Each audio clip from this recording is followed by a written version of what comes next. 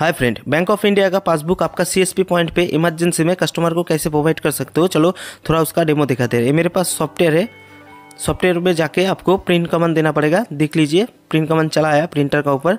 ये जो प्रिंट हो रहा है, आपका डायरेक्ट ऑनलाइन मोड में प्रिंट हो रहा है। मतलब आपका ओलीबीटी मोड प्रिंटर का जो होता है ओलीबीटी मोड और ट्वेंटी के लिए आपका P R two mode mode में प्रिंट हो रहा है। और प्रिंट का रिव्यू थोड़ा देख लीजिए कैसा है। देख लीजिए प्रिंट का रिव्यू ऐसा है व्यू ऐसा है और ये जो फॉन्ट यूज़ किया है, ये आपका बैंक का ही।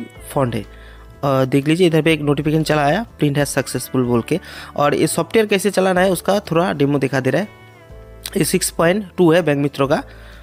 अभी लॉगिंग कर रहे हैं। लॉगिंग रॉन्ग पासवर्ड पासवर्ड सही नहीं डाला।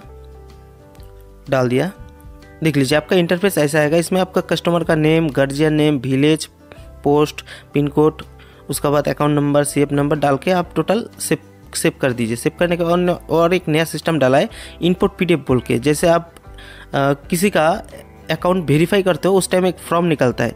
वो फॉर्म को आप सेव एस पी करने के बाद आप डायरेक्ट सॉफ्टवेयर में इनपुट कर दीजिए ऑटोमेटिकली खींच लेगा। जैसे खींच लिया आपका कस्टमर का नेम अकाउंट नंबर सी नंबर पिताजी का नाम गार्जियन नेम उसका बाद आप अकाउंट ओपनिंग डेट और इशू डेट देखिए सेव करके कस्टमर को पासबुक प्रोवाइड कर सकते हो और इसका थोड़ा मिनवाली करके आपको दिखा दे रहा है। इसमें आपका होगा कस्टमर का नेम जो फॉर्म नहीं रहने से आप मिनवाली टाइप करके कर सकते हो। जैसे कस्टमर का इसमें नाम डाल दीजिए। कस्टमर नेम डालने के बाद कस्टमर का डेट ऑफ़ बर्थ ये कंपलसरी नहीं है, फिर भी आप डाल सकते हो। रिकॉर्ड के लिए डाल दिया। डालने के बाद आपका गार्जियन नेम डेमो के लिए एक डाल दे रहा है, नेम। उसका बाद विलेज कस्टमर का विलेज डाल दीजिए। डालने के बाद इसमें कस्टमर का पोस्ट आएगा।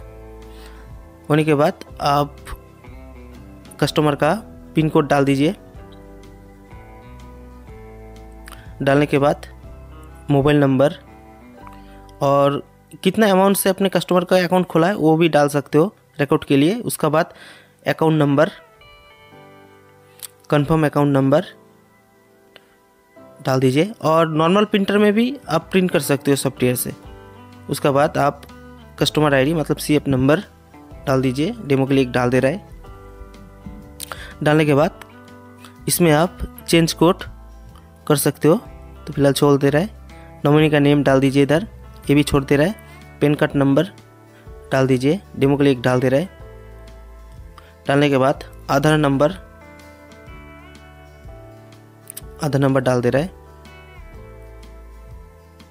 डालने के बाद account opening date issue date देने के बाद देख लीजिए, सब मिला लीजिए, सब सही है कि नहीं, उसके बाद सेव कर दीजिए। यस ओके अभी नाम का ऊपर क्लिक करके प्रिंट ऑप्शन में जाके यस देख लीजिए, ऐसा प्रिंट रिव्यू आएगा।